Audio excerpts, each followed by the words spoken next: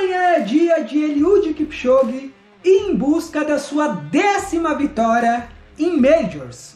Dessa vez, mais especial, porque ele ainda vai em busca de decretar um novo recorde mundial.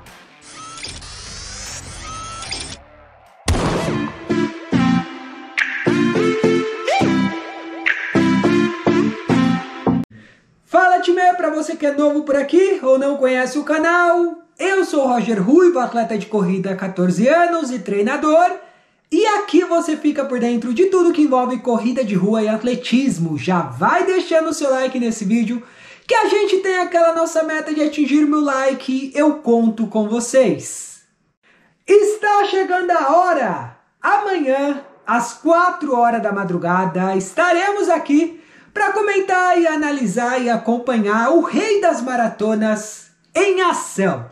A prova vai ser transmitida na SPN 2. E como de costume, né, sempre rola aquela nossa live por aqui. E Berlim, mais uma vez, é uma prova mais do que especial. As atenções estarão voltadas para ele, o mito, o homem imparável na maratona, Eliud Kipchoge, que vai em busca da sua décima vitória em Majors. Que feito absurdo e incrível do keniano. Mas além disso, tem a busca também pelo novo recorde mundial.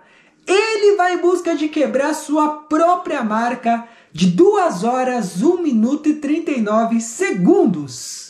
É um negócio meio que inacreditável. Ele vai precisar correr a 2,52 de pace para bater essa marca. E o detalhe, a previsão para a passagem da meia saiu na coletiva de imprensa e vai ser para 60 minutos e 50 segundos ou 1 hora e 50 segundos. Exatamente um pace de 2,52 por km, o que levaria uma prova para 2 horas, 1 minuto e 40 segundos. Aí dando aquela aceleradinha no final, aquela diferencinha ali de um segundinho aqui, outra ali, ele baixaria a marca de 2 horas, 1 minuto e 39. Esses 2,52 de pace equivalem a correr 5 km para 14 minutos e 20 segundos.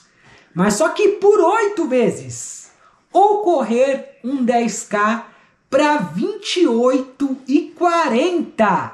Mas só que 4 vezes. Ou correr duas meias para casa de uma hora de forma contínua. Realmente são números surpreendentes e que poucos atletas se arriscariam a tentar na atualidade.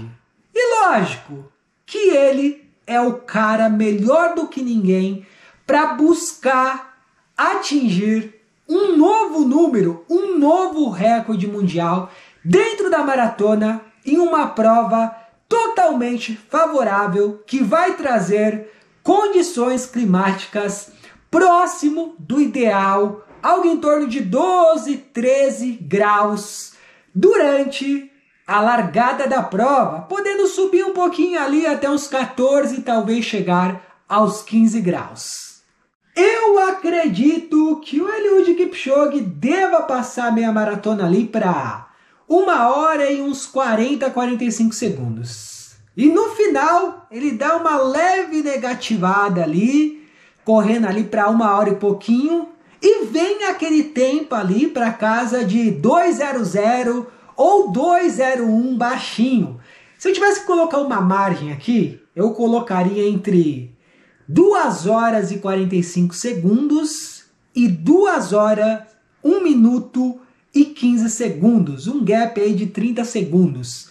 Eu acho que é muito, mas muito difícil que a gente não veja um recorde amanhã do rei das maratonas. Espero vocês a partir das quatro da madruga por aqui para acompanhar com a gente e trocar aquela ideia. Não se esqueça de deixar seu like nesse vídeo, dá aquela moral pra gente, se inscreva no canal e ative o sininho de notificação. Vou deixar também sugestões de vídeos anteriores para vocês acompanharem.